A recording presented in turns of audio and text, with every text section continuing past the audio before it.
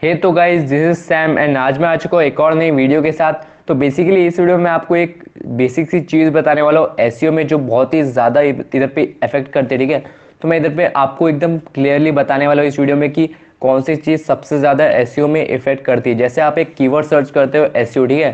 तो उससे क्या होता है कि आपको फ्रंट पेजेस में जो है बहुत सारे इधर पे रिज़ल्ट आ जाते हैं, ठीक है? और रिज़ल्ट आने के बाद फिर इमेजेस का भी अलग से एक सेक्शन रहता है, ठीक है? तो इमेजेस के सेक्शन में भी ना इधर पे इमेजेस रैंक होती है एंड फिर उधर पे ऑल के सेक्शन में आर्टिकल्स रैंक होती है, ठीक है? तो इधर पे पूरा रैंकिंग सिस्टम कैसा रहता है, वही इस वीडियो में हम बात करने वाले ठीक है? तो अगर अभी तक हमारे चैनल को सब्सक्राइब नहीं किया तो हमारे चैनल को सब्सक्राइब कर दो, क्योंकि मैं बहुत ही जल्दी फ्री का एस वेबिनार ला रहा हूँ आप सबके लिए, ठीक है? तो इधर पे देख लो ब्लॉग स्पॉट सब डोमेन है गूगल पर रैंक हो रखा है, इधर पे पूरे इंप्रेशन देख सकते हो, पूरा प्रूव है आपके सामने, ठीक है? टोटल क्लिक्स भी आप देख सकते हो इधर पे एवरेज पोजीशन एवरेज सीटीआर सब कुछ देख सकते हो। मैंने बहुत सारे वीडियो में अपने इस वेबसाइट की बात भी की है।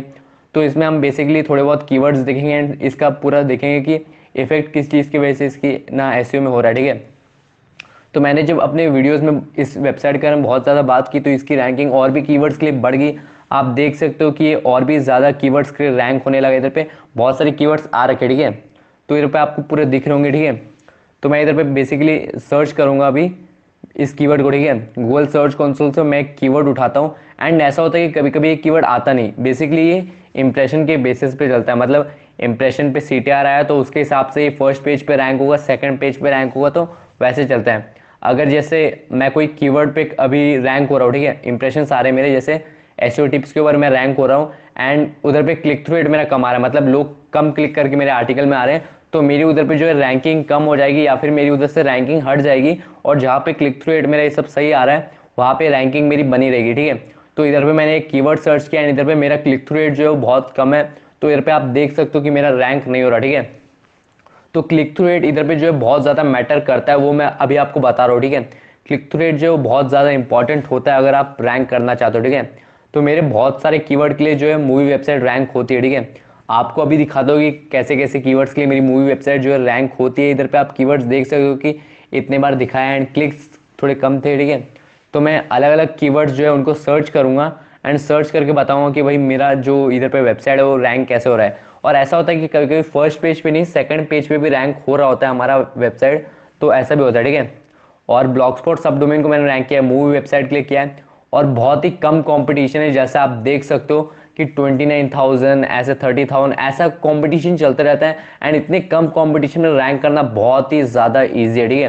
तो आप लोग भी ऐसे कीवर्ड्स के ऊपर काम करो इजीली ब्लॉक स्पॉट भी इधर पे रैंक हो जाता है एंड अर्निंग भी बहुत अच्छी खासी आने लगती है ठीक है?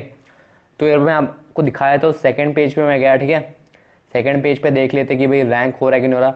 तो इधर पे देखो सेकंड पेज पे ये देखो मेरा वेबसाइट का सब डोमेन आपको दिख रहा होगा। तो इधर पे सेकंड पेज पे रैंक हो रहा है ठीक है?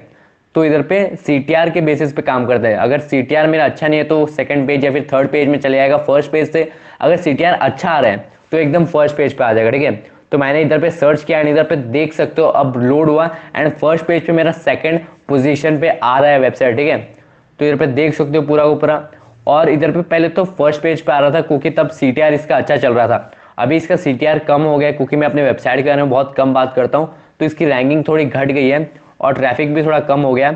और मैं इस वीडियो में देखो, आप लोगों को बता रहा हूँ तो आप लोग भी जाकर के चेक करोगे, तब इसका सीटीआर और भी बढ़ जाएगा एंड इसकी रैंकिंग और भी ज़्यादा इंप्रूव हो जाएगी। तो एक बार चेक कर लेना एंड इसकी रैंकिंग भी बढ़ बढ़ जाएगी, ठीक है?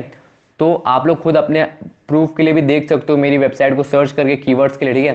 तो इधर पे देख सकते हो कैसे कैसे कीवर्ड्स में मेरे इंप्रेशन दिखाए जाते हैं, कैसे क्लिक्स आते हैं तो इधर पे मैं कम कंपटीशन में काम करता हूँ तो इसलिए ऐसे इजीली हो जाता है। तो सबसे पहले तो आपको कम कंपटीशन में काम करना है, फिर इधर पे सीटीआर के ऊपर आपको काम करना है। अब सीटीआर के ऊपर आप काम कैसे करोगे? देखो, मैं आपको बता दूँ सी के ऊपर आप काम कैसे करोगे?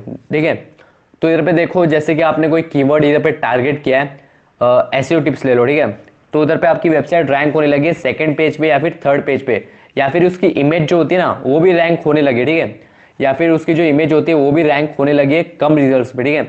आपको कम रिजल्ट्स पे काम करना ताकि जल्दी रैंक हो। और एक बार रैंक होना स्टार्ट हो जाए ना तो आप इमेजेस में चेक करो कि इमेज में रैंक पहले हुआ है कि ऑल सेक्शन में हुआ है, ठीक है?